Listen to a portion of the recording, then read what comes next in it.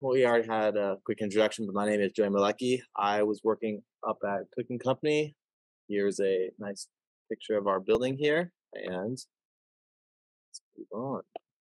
So, uh, what here? What is PPI? That's what I was doing my internship through.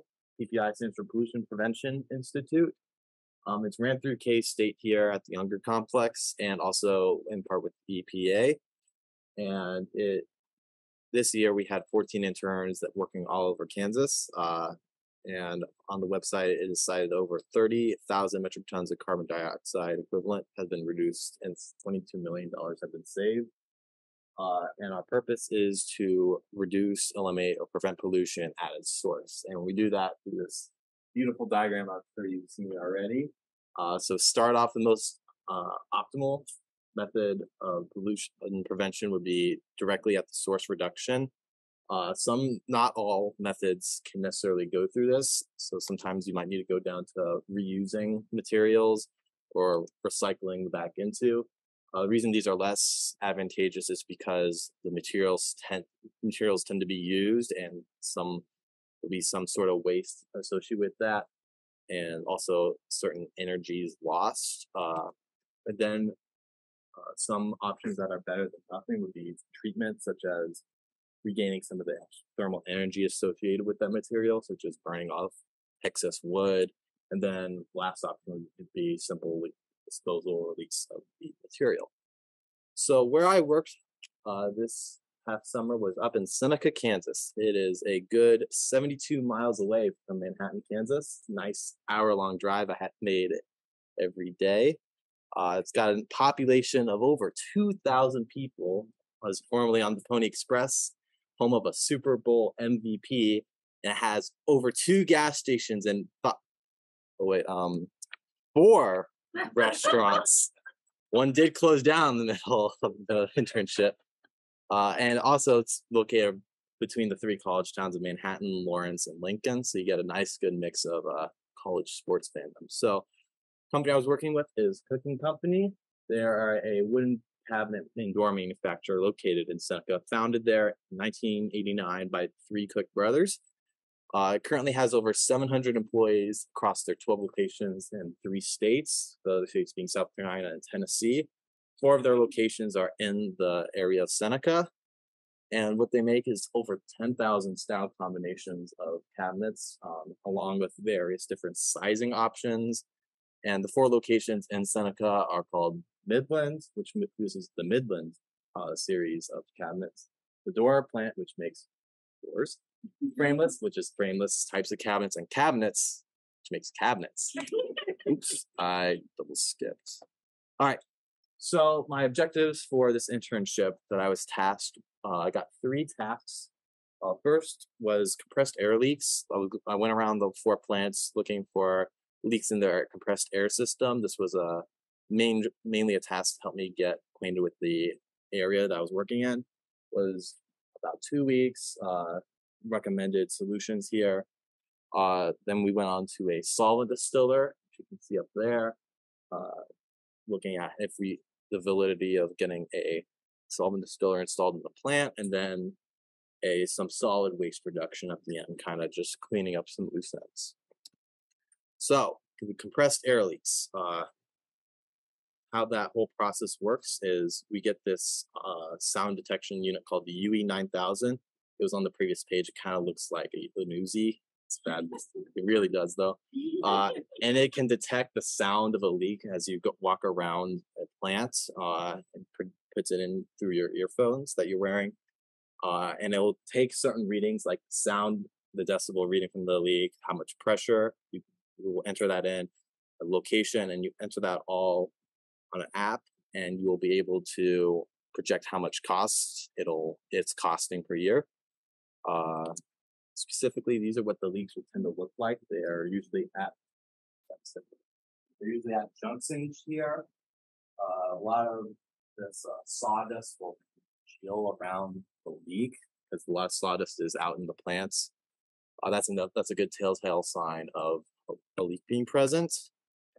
And then once you have all this information, there's a nice app you can enter all of it in. So if the company that makes the app UE they are able to give you a spreadsheet giving you all the leaks, all their total costs that it's getting putting on the company, uh, along with power that it's costing, and gives you a nice uh, list of what the leaks are.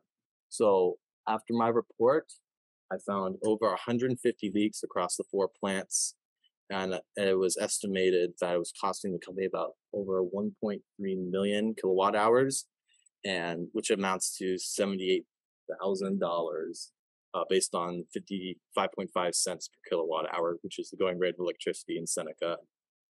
And for repairing these leaks, the medium repair cost was estimated to be about $15 per leak. Uh, that's based off of about $7 for the material to replace it. Because if we go back here, most of the, sorry, uh, most of these leaks can be replaced by this simple uh, metal fitting, which costs about seven or eight bucks. Uh, and then also another eight dollars would be towards the actual labor to repair these leaks. Um, specifically, I have a table here of all the types that I found. Roughly, I would categorize these types This is the connector type leak, which is the vast majority. And then attachment is also really similar, just a slightly, slightly different uh, set of parts, but in general the same thing. Uh, rafters leaks, those are up in the rafter system of uh, compressed air throughout the factory. Uh, those are actually a little harder to reach and would cost more to fix because you need to get a scissor lift to get up to them. And then broken hoses and miscellaneous leaks are uh, just kind of filling out the rest of the types. And if we did, if all the leaks were repaired, it would save approximately 1,374 metric tons of carbon dioxide. Uh, should I would like to note though that some of these are a little bit of underestimates because for the UE app, it only takes pressure increments in 25 psi, and a lot of the psi readings were either 80 or 120 psi, and typically we would round those down to 75 and 100 psi. Uh, it's also an, another reason this is likely underestimating is because any leaks in the rafters you need to get really close with the UE to assess how powerful the leak is. Uh, and I couldn't exactly reach up all the way to the ceiling because it's mm-hmm. very tall. And uh, so I would typically put down just 30 decibels as the reading given, even though sometimes it'd be even louder from a really far distance, uh, meaning that a lot of those leaks are um, actually losing more power than what the report says. Uh, but after this, I went on to looking at a solvent distiller here. Uh, it was proposed mainly because the VOC permitted at the plant was uh, near what was actually being the emissions were. Uh, permits gave 245 tons of VOCs per year, and it was around 220, so only about 25 VOCs was the limit. Uh, and they were also uh, wanting to save some money from recycling these solvents. And uh, another important concern is that there was a distiller there previously, but there were lots of complaints with it based on how it smelled. It, gave us this horrible odor, uh, wasn't very useful, and employees had trouble operating it. So the questions I had to answer, of course, were how long would it take for this to be paid back? Uh, how effective would this solvent be that's recycled? Uh, where's this going to go and how's it going to smell. But uh, I would end up looking at this specific here. It's called the uh, made by Becca Inc. It recycles 17.5 gallons per cycle. It can be run about three times a year. Uh, it one isn't actually enough to cover what the plant uses in a day. Um, and Becca makes a larger version, but that couldn't be produced within a few months. So we were decided to run with this specific distiller since it could be made earlier, and also to see just kind of how it would work well in the in the company, and then if a larger distiller would want to be moved to a different location.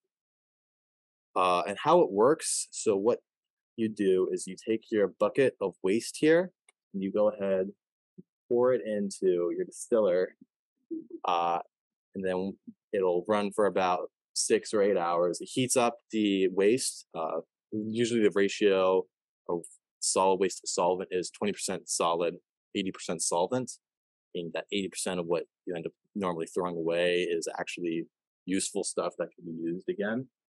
Uh, and then the machine will heat up the waste, uh, evaporating the solvents, but leaving the solids as solids. And the solvents will condense down into a nice liquid flow into a separate bucket. And then what you do is you take your waste and uh, not necessarily check it out, but it gets disposed of as hazardous waste, like the it currently is. Um, what I found uh, for this, not this specific size distiller, but we were able to get in contact with a local company that had a smaller version made by the company, Becca Inc. And we did a test run of waste, and we found that there was no smell. Solvent that we got back, we ended up conducting a test on that, which I will get into in one second. And also that it was covering about 70% of total waste ended up becoming usable solvent. Uh, and then also, uh, this location would likely be where the waste is currently being stored in this site shed, where it can be shaded. Uh, while the waste is already being currently funneled in towards there, just probably need to put some walls in there. And specifically for the test, what what happened was the claimed solvents and then two solvents that were currently used. This is a lower strength solvent and a higher strength solvent. It's also cheaper. And uh, we poured up a plank had been given 12 coats of varnish approximately. Uh, let it sit for about a whole day. Saw how well it ate off those 12 layers of varnish. Found that they were roughly equal uh, across all three actually but the stronger solvent at one point definitely showed signs being the strongest, but definitely these two were very similar strength. And then after that, uh, we cooked the remaining solvent and had a worker use it to clean his uh, paint line machine. Uh, he's been working there for a few years, uh, and he said that he felt that there was no difference between that solvent and the normal solvent, and that it worked really well. So, uh, conclusion here is that not only is this going to save the company 50 tons of VOCs per year, but also save about $200,000 from combined solvents recycled and, reused and also eliminating waste costs.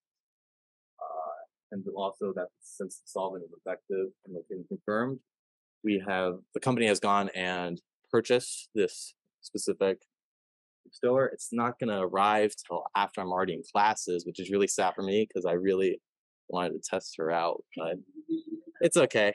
It's gonna it's gonna help the company out. And after that, I went on to doing uh, some solid waste work.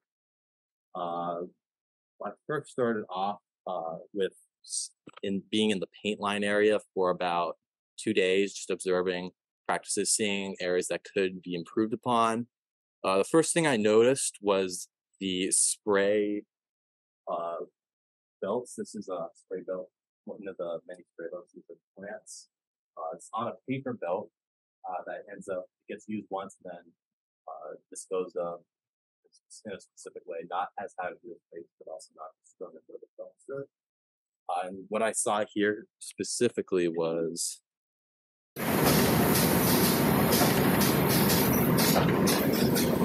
the wood and one second.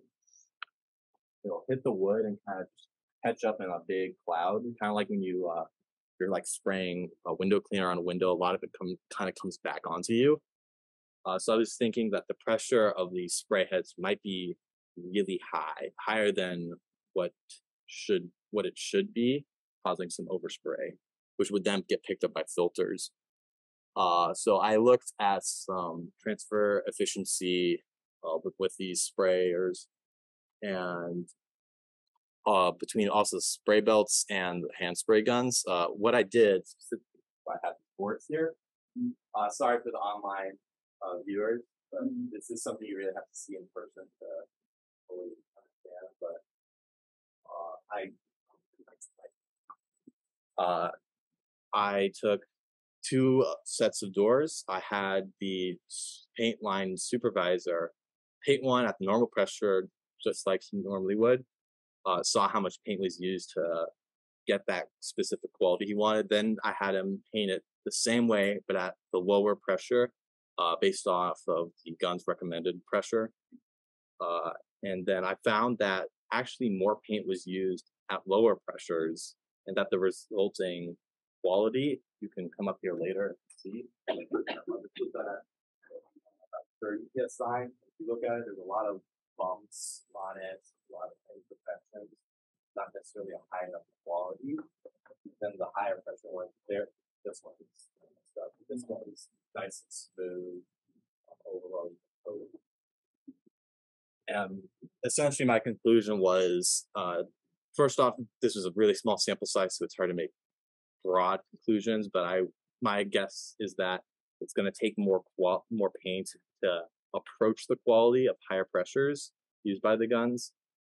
Uh, and th- that's why I think the guns should probably operate as at their current pressures, except for the one that I took the video of. That one was abnormally high, even for uh, the high pressures that are being used. That one, uh, unless there's a reason given uh, for quality concerns, it probably should be turned down.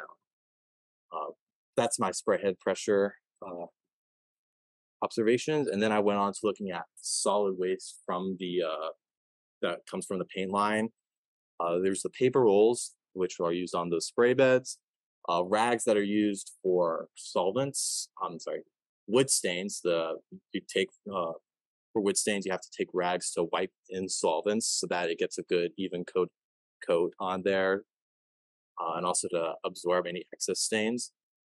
Um, and then also paint filters. Um, so first with uh, paper rolls, based on how they're used in the machines, there's not really a way to reduce their use because they run they run through the machine at a constant speed. It's not really controlled by the operator. They can't be really reused, and the only way to eliminate their use would be to just not use paper or roll machines, which would cost a few million dollars to replace those. Uh, it's not necessarily that can't be justified economically. And um, then I was looking at these solvent wipe down rags, like stain wipe down rags.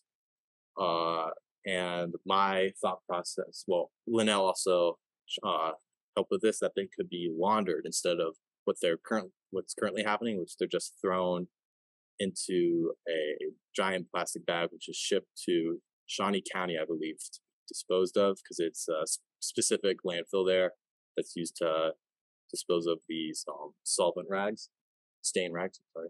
Uh, so my thought was that we could get the gigantic washing machine that you have in hotels, uh, launder them on site so that they wouldn't have to be shipped across town to be cleaned because there's no local town nearby that'll that's able to clean it.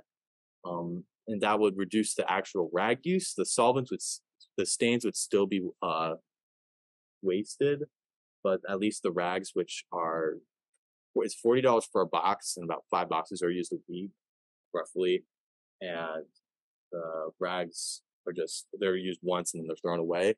I uh, would re extend their life cycle by it significantly. The only problem with this specific uh, solution is that the city of Seneca would need to approve of the wastewater from the washing machine.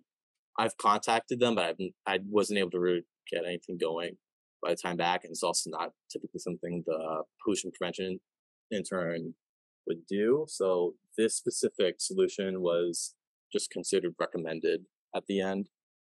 Uh, and also more as more needs more research. And my last thing I looked at was these paint filters.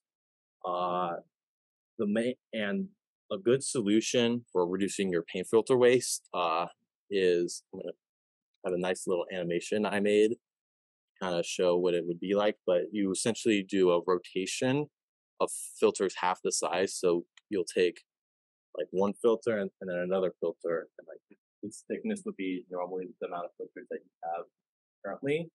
And what's theoretically supposed to happen is that the top filter will be contaminated, and get dirty, while the bottom filter will remain relatively clean. and usable. And then once this filter needs to be replaced, you take it off, move the bottom filter to the top, and then add a new filter on the bottom. And kind of that cycle continues, roughly reducing filter usage by half. The only problem with that, I don't know what happens. Okay. Joe, you have about five minutes. Okay, yeah. Uh, problem is that the filters used, there's not a whole lot of um, consistency across all the plants and the filters. Uh, one type is really thin, but all the paint gets really on the surface, so having two filters doesn't necessarily add any benefit because uh, a lot of paint is actually getting through just on the surface.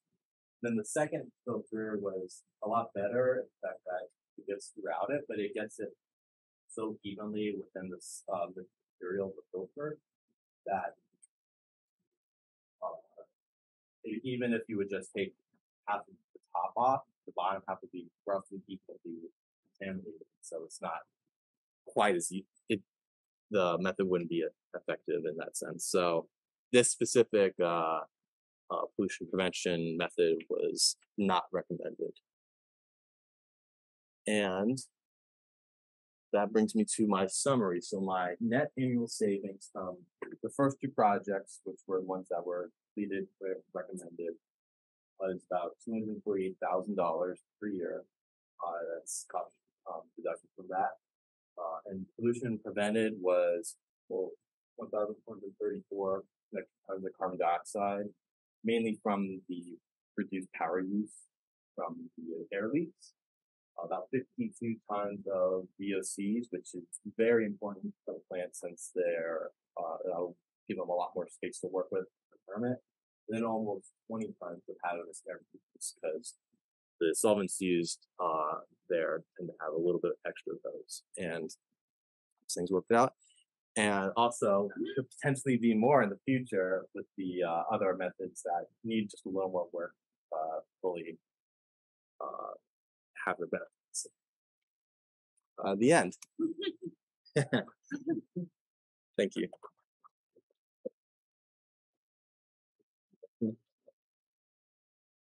Any questions? Oh, my dad? Oh, no. Uh, I don't think so. Uh, maybe if I,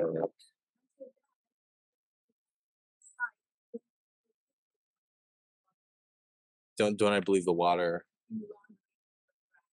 Yeah. uh, say it again. Yeah. Yeah, it would be laundered on site. Um, I believe, is that all he's asking? But it's asking that, that case, don't you use the water?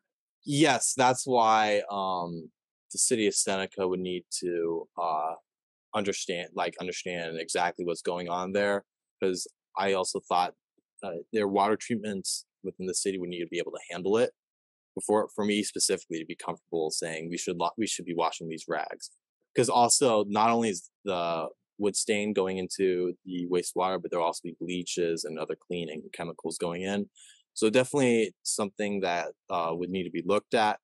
Uh, make sure that the the city, yeah, the city public works can handle it because uh, It's a permitted process. yeah. right? And so we actually told Joey, you know, hey, it's, it's compliance and will help with that, Mhm. but he did not.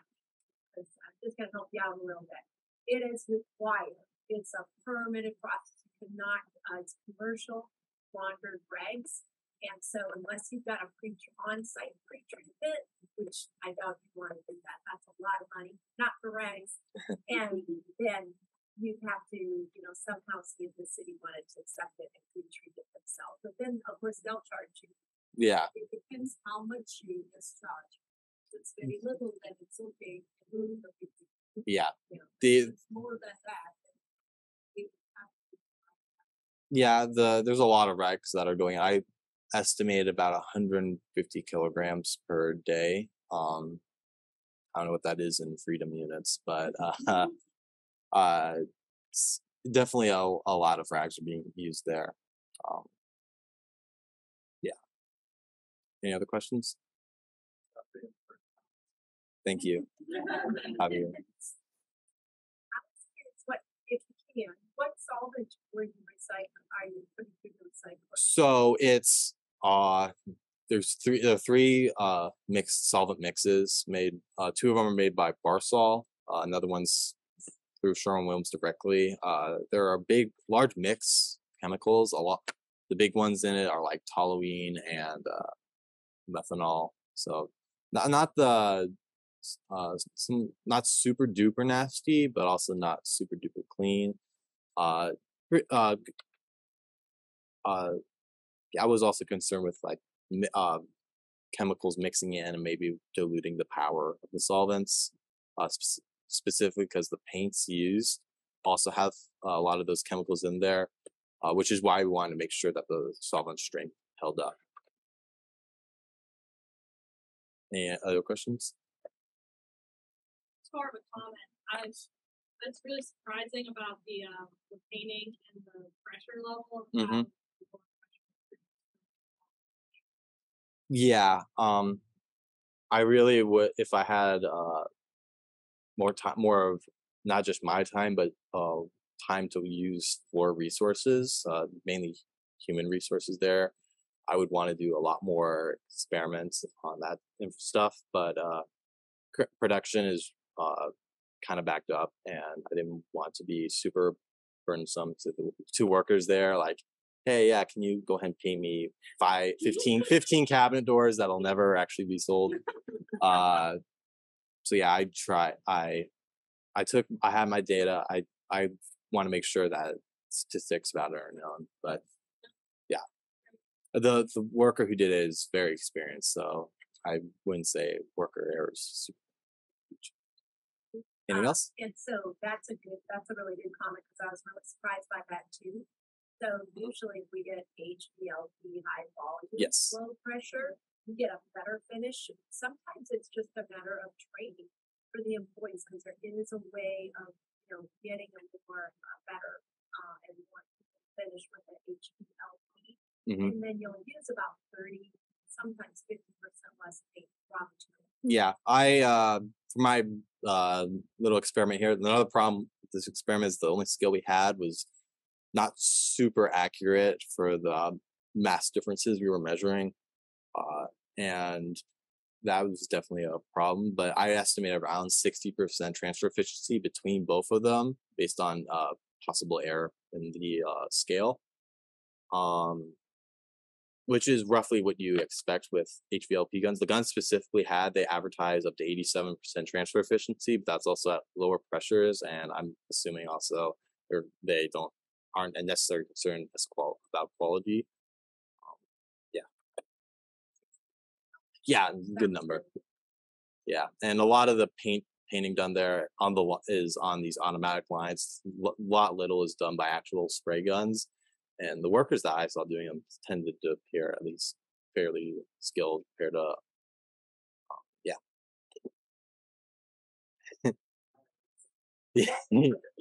yeah. the the difference in our industry is that where cabinets used to be a solid wood with a stain and a varnish on it, now almost I would say eighty percent of what we do is painted, hmm so your solids are higher. So even though you have a high pressure, low volume gun, you have to get a you have to get some pressure there to get those solids out. So, but we have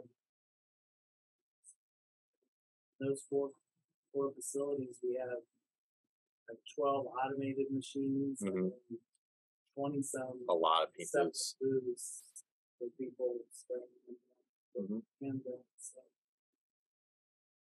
It's uh, yeah, very vast operation. That's why lot of compliment to Joey to her, but for him to understand what we do in a very short amount of time, it, it was it was hard, and he really did a good job. Thank you. All right, I think I'm well over my time.